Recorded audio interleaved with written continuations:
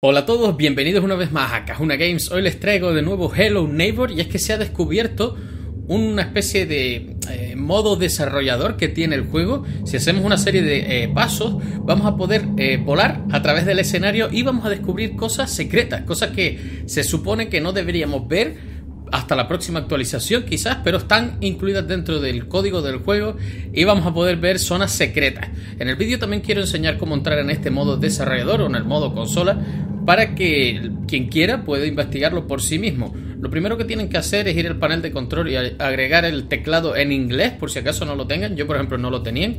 Depende del sistema operativo que tengan. Simplemente van a panel de control, agregar idioma y agregan el inglés de Estados Unidos. Luego, abajo cambian el idioma del teclado a inglés y van a una tecla que les voy a enseñar. Yo no tengo esa tecla en el teclado y lo que he tenido que hacer es sacar el teclado virtual de Windows. Vale, aquí tengo el teclado el teclado en pantalla de Windows. Esto se hace para cuando no, no tienes un teclado con todas las teclas, como yo, que tengo un teclado de mierda, pues puedas usar algunas de las teclas que tengas por ahí escondidas. Esto lo aprendí con el Welcome to the Game, ya que había algunos algunos, algunas teclas que yo no tenía y no sé por qué. Este teclado es una basura, me costó 8 euros.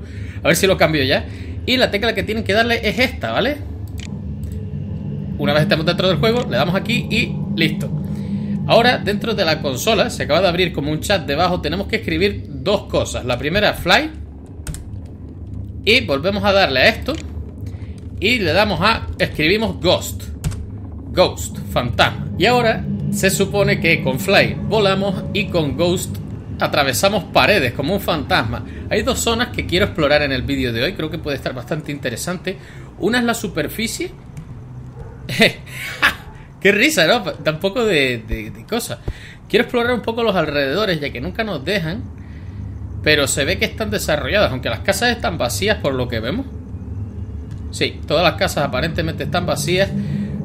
Pero estaría interesante ver si hay algo por ahí oculto. Imagínense un... ¡Eh! Un cementerio.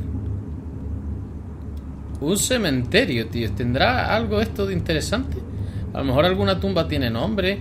Sería muy extraño, ya que se supone que esta zona no está hecha para hacer pista. Y sin embargo, aún así, aquí está, ¿no? ¿Por qué desarrollarían todo esto si se supone que no lo vamos a ver nunca? O por lo menos por lo pronto. No sé si tienen algún plan de sacarlo más adelante. Se supone que en diciembre hay otra gran actualización. Creo que sería la Alpha 3. Esta es la Alpha 2 y bueno, vamos a investigar un poco por fuera, en caso de que veamos algo interesante. Y luego vamos a investigar el sótano de la casa, que es quizás lo más interesante de este vídeo.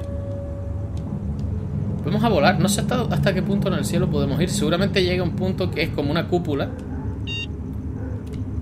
Qué pesado es ese ruido, tío, lo odio. Que parece como el ruido de... tío, esa sombra que vuela parece como si fuéramos una especie de, de alien. Vale, yo supongo que por fuera no hay nada. Esta casa es súper absurda y está súper mal hecha. Bueno, ahora que somos un ghost, vamos a explorar nuestra casa y la casa del vecino, aunque hay quien dice que es al revés, que nuestra casa era esa y la del vecino era esta, o el vecino no tenía casa y nos lo robó. Hay alguna cosa un poco extraña, como por, ejemplo que a veces eh, hay personas debajo. Por ejemplo, ¿qué coño es este coche aquí? Se supone que este coche debería estar arriba, pero bueno, eso eh, digamos que tiene alguna explicación. Vamos a ver si la parte de arriba de la casa está desarrollada. Vale, hay una habitación. Al menos hay una habitación. Y algo que quiero comprobar. ¿Recuerdan que aquí había una puerta? Pues, ¿esta puerta lleva a algún sitio? No. ¿Vale? Está completamente sellada. ¿Saben que hemos estado intentando entrar ahí? Pues esa puerta está sellada. Este modo de desarrollador está bastante bien para ver si hay secretos o no dentro del juego. Que en el anterior modo pues la gente se ponía a hacer locuras y eso para ver si las puertas llevaban a algún sitio, ¿no? Fíjense, con esto podemos explorar todo, todo, atravesando paredes. Este sitio me sigue, me sigue escamando un poco, no sé muy bien qué quieren hacer con eso. Y bueno, parece ser que no hay mucho más. Tendríamos que eh, esperar a la siguiente actualización para que haya cosas nuevas en la casa. Este muro se puede abrir con la palanca esa que hay fuera. Sigo sin saber para qué sirve la tuerca esa que está ahí. Pero ahora lo que tenemos que hacer, o lo que quiero hacer, mejor dicho, es ir al sótano. Creo que puede ser lo más interesante porque ahí está la parte secreta. Para ir al sótano, podemos atravesar la puerta o atravesar la planta azul que hay abajo, ¿vale? No está tan, tan a la vista. Hay que entrar o por la puerta o por la planta azul. Fíjense. Esto, tío. Esto es lo que les quiero enseñar. Vamos a poder ir a través del pasillo. Creo que es bastante importante, ya que siempre es, cuando pasas por ahí se acaba el juego. ¿Lo ven? Se supone que cuando pasamos por ahí se acaba el juego, pero ahora podemos explorar todo esto. Tiene un cuadro de un gato. Aquí está, eh, se supone que este es el vecino, pero el otro no sé quién es. Tío, esto se supone que va a salir en la siguiente actualización. Creo que es súper interesante poder venir aquí. Aunque no esté desarrollado y seguramente falten cosas por meter. Esto ya está. O sea, si ya está, es por algo. Mola, tío, mola, no, no sé. Eh, ¿Qué coño es esto?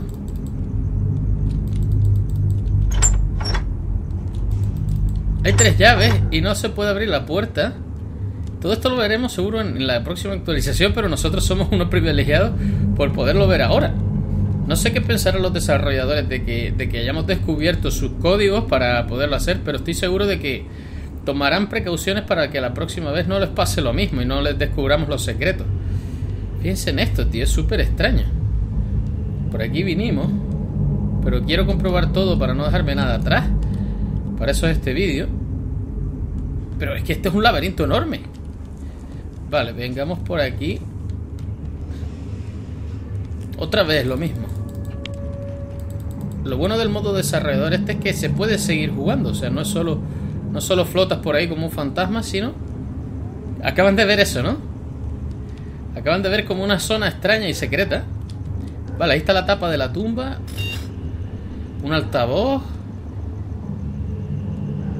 Un televisor. ¿Por qué el vecino tendría todo esto aquí, tío, en su casa? En el sótano de su casa. Y fíjense. Esto, tío, es lo que yo había visto y que me llamaba mucho la atención. No sé qué es esto. No tengo ni idea, pero supongo que encender y abrir. No parece que se abra así. Habrá que, habrá que investigar cómo se abre. Hay música, música extraña y todo. Ahora vamos a cruzar, pero primero quiero ver si hay algo más. Parece ser que no.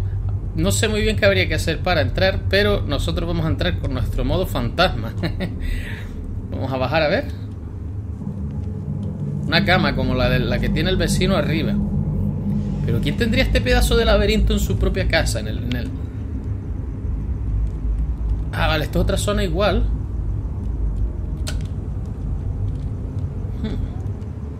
Qué raro, ¿no, tío? ¿De verdad pretenden implementar todo esto dentro del juego? En la siguiente actualización, quizás. Vale, creo que estamos volviendo hacia atrás. Sí, sí, señor. Vale, hay como dos puertas. ¿Lo ven? Hay dos puertas. A ver a dónde llegan finalmente. Ah, no llega a ningún sitio, tío.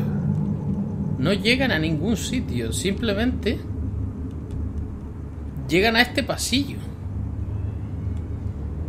los dos conductos esos secretos llegan a ese pasillo. Aquí. ¿Y esto aquí qué es?